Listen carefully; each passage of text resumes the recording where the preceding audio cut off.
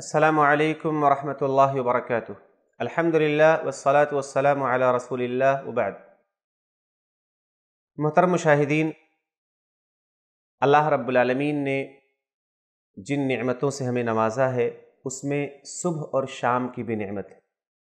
صبح کی نعمت اس لیے ہے جس میں آپ اٹھتے ہیں اور اپنی معاش کے لیے، اپنی روزی روٹی کے لیے بھرپور کوشش کرتے ہیں۔ اسی طرح سے شام کو اللہ رب العالمین نے عطا فرمایا تاکہ ہم دن بھر کی تھکان کے بعد اب اچھی نیند لے سکیں، آرام کر سکیں اور اپنی تھکاوٹ کو دور کر سکیں۔ ان دونوں نعمتوں کا ہمیں شکر ادا کرنا چاہیے اور اسی لیے نبی اکرم صلی اللہ علیہ وسلم نے صبح و شام کی بہت ساری دعائیں سکھلائی ہیں۔ ان میں سے ایک جامع ترین دعا ہے جس کے بارے میں حضرت عبداللہ ابن عمر رضی اللہ تعالیٰ عنہ فرماتے ہیں۔ کہ لم یکن رسول اللہ صلی اللہ علیہ وسلم یدعو هؤلاء الدعوات حین یمسی وحین یصبح۔ کہ یہ دعا جو میں آپ کے سامنے بیان کرنا چاہتا ہوں، کہتے ہیں یہ دعا نبی صلی اللہ علیہ وسلم نہیں چھوڑتے تھے جب بھی آپ صبح کرتے یا شام کرتے۔ یعنی آپ اس دعا کا خاص اہتمام کیا کرتے تھے۔ یہ دعا صحیح ابو داود میں ہے اور علامہ البانی رحم اللہ نے اسے صحیح کہا ہے۔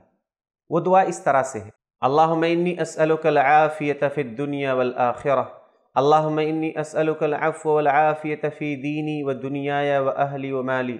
اللهم استر عوراتي وآمن روعاتي. اللهم احفظني من بين يدي ومن خلفي وعن يميني وعن شمالي ومن فوقي. وأعوذ بعظمتك أن أغتال من تحتي.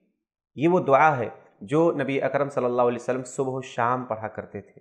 اس دعا کے اندر اللہ کے نبی صلی اللہ علیہ وسلم نے دنیا اور آخرت میں عافیت کا سوال کیا ہے۔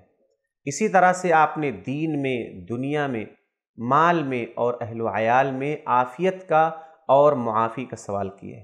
اور آپ نے اس بات کو سوال کیا ہے کہ اللہ رب العالمین میری حفاظت فرما، اوپر سے، دائیں سے، بائیں سے، آگے سے، پیچھے سے اور اس بات سے بھی کہ اے اللہ میں کہیں نیچے سے زمین میں دھسا نہ دیا جاؤں، اے اللہ میری ہر طرف سے حفاظت فرما۔ تو اس دعا کا ہمیں خاص اہتمام کرنا چاہیے، کیونکہ اس دعا میں بہت بڑی نعمت عافیت کا اور اللہ کی جانب سے حفاظت کا سوال کیا گیا ہے۔